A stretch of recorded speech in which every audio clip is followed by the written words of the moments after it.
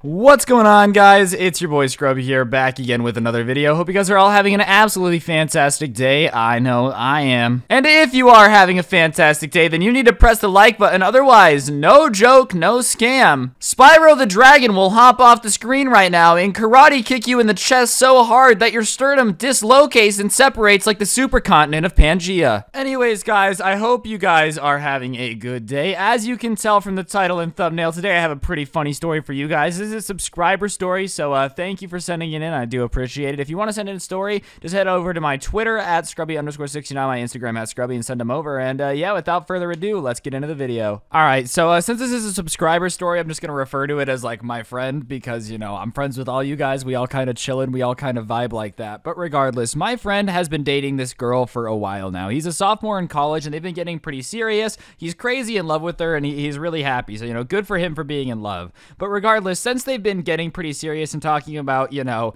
uh, commitments and all that type of stuff, he wanted to meet her family. He doesn't go to college where we all grew up. Um, he kind of goes out of state, and so does the girl that he's dating. Neither one of them are from where they're going to school. So, like, meeting each other's families was something that they hadn't done yet because, you know, when you're from Michigan and your girlfriend's from Arizona, when you go home for Christmas, you don't exactly skip, hop, and jump over to Arizona with a JJ the Jet Plane mixtape, you know? So, basically, uh, his girlfriend was like, Look, I really want you to meet my parents. And he's like, okay, fine. So over Thanksgiving break, we'll go meet your parents. Everything will be good. Everything will be golden. No harm, no foul. No big deal at all. It'll be awesome. Your family will like me. We can get more committed. Whatever it is, whatever's going on. I don't, I don't really know what's up. But basically, I want to meet your parents. And the, everything works out. They're like, wow, this is going to be great. It's going to be so awesome that you finally meet my parents. This is going to be so lit. So obviously Thanksgiving break comes and he goes over to the girl's house to meet her parents because that's just what you do when you're going to meet parents. You probably meet parents. That sounds pretty self-explanatory, I know. And their meeting goes great. They all hitch off. They all have a fantastic time. He's there all week. He's great for Thanksgiving. The parents love him. They think he's a great guy. They think he's a gentleman.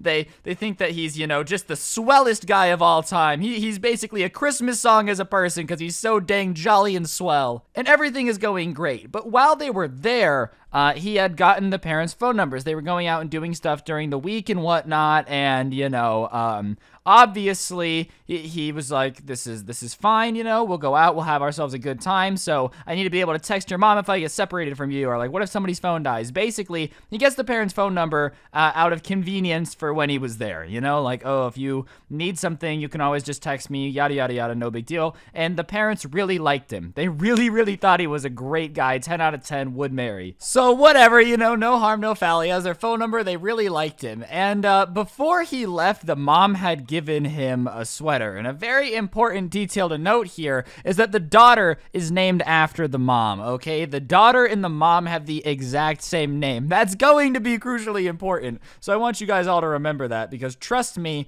uh, it, it's gonna matter. So.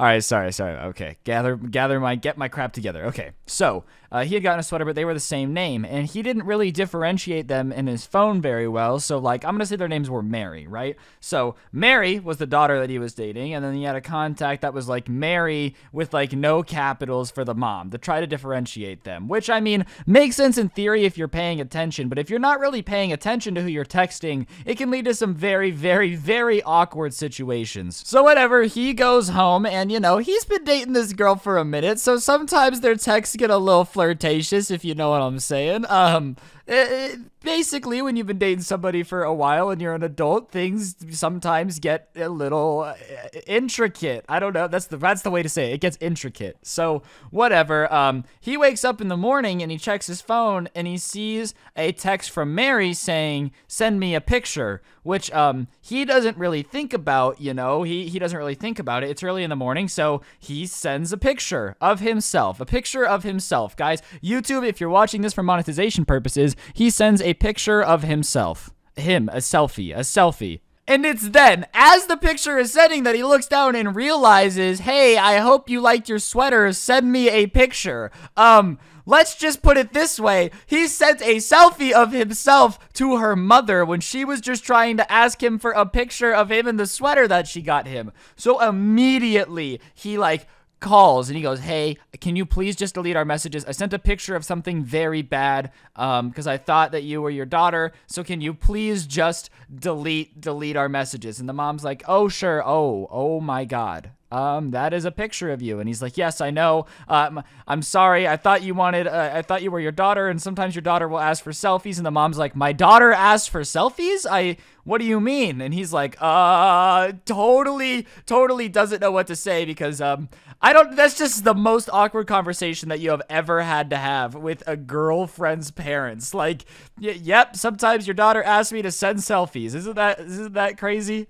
So after that, he uh, obviously is like, I don't know what to do. So they that phone call ends, um, and he's like, okay, maybe it's not gonna be that big of a deal. Maybe nothing will happen. So he goes to class, and uh, he turns his phone off when he goes to class because he does go to a good school, and he like actually wants to focus on classwork. Which I mean, good for you. I personally have so much ADD that if I try to pay attention in class, I like wake up thinking that I'm actually Spyro the Dragon, headbutting a bunch of stuff to try to get gems out of it. Like I I have to you know distract myself. Like I can't can't focus no matter what. But if you can turn off your phone and focus on school, good for you. So he turns off his phone and um, comes out of class, looks down, and realizes he has two missed calls from his girlfriend's mom, three missed calls from his girlfriend's dad, and uh, 27 missed calls from his girlfriend, right? And he's like, oh no. So he checks his text, and sure enough, the, the girlfriend is like, what happened? Why did you do that? What made you think that was okay? Are you dumb? Uh, he has text from the dad being like, hey, we need to talk whenever you get a chance. Uh, the mom texted him saying,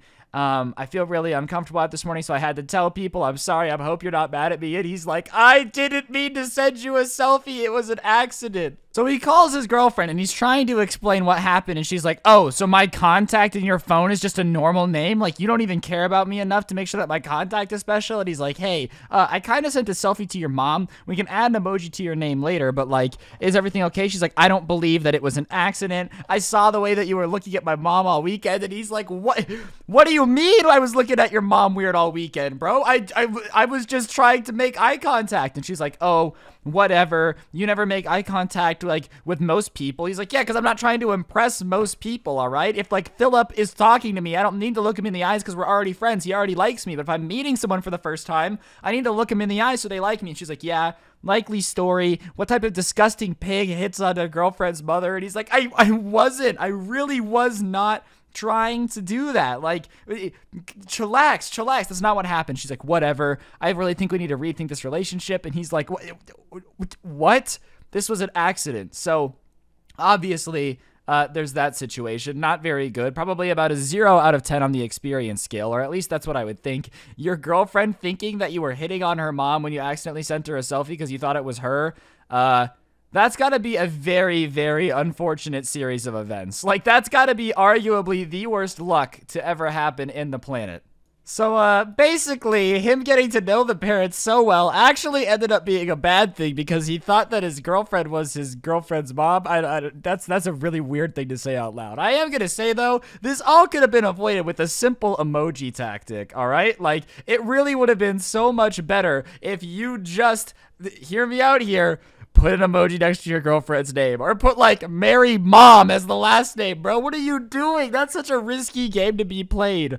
Also, uh, maybe before you send selfies, you should double check that it's going to the right person because I feel like you know, you you might you might want to think things through a little bit better before you just start standing out handing out selfies on the street corner like a weirdo. That's gonna catch you a prison charge. Uh, anyways, that night he went over to the girl's house and he's trying to explain what happened, and so she finally understands. He like shows her the text, but what he didn't realize is that it was weird that he had kept the text. So she's mad. She's like, "Why did you keep the selfie that you sent to my mom in here?" He's like, "Well, I wanted to show you the context," and she's like whatever. I just don't really know if I can look at you the same. And he's like, why? Like everything's going great. She goes, yeah, but now my mom has seen your selfie. Like, I, I don't, I don't necessarily know if I could be with somebody who, you know, my mom has seen their selfie. You know what I'm saying?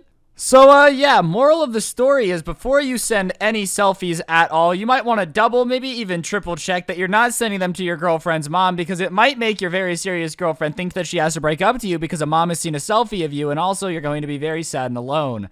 Uh, I, I just can't help but think what what the girl's dad thinks. Like, imagine you're just chilling there and your wife walks up to you. She's like, "Hey, yo, uh, our daughter's boyfriend has sent me selfies." Like, bro, that's got to be a very awkward feeling.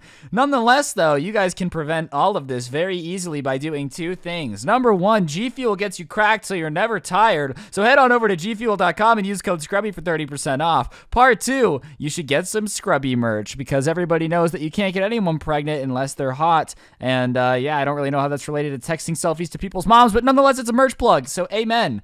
Real talk though, guys. Hopefully you enjoyed. If you did, press the like button, comment down below, all that good stuff. Today's notification shout out goes to the very fantastic Nuka Fight. It is uh, very, very, very swag, and he's a great guy, and uh, I appreciate it. If you want a notification shout out, just follow me on Instagram, send me a screenshot of your notifications on, and I give somebody a shout out every day. But on that note, have an incredible day. Don't get anyone pregnant if you do. Make sure they're hot, and I'll see you guys next time with another video. I'm out. Peace.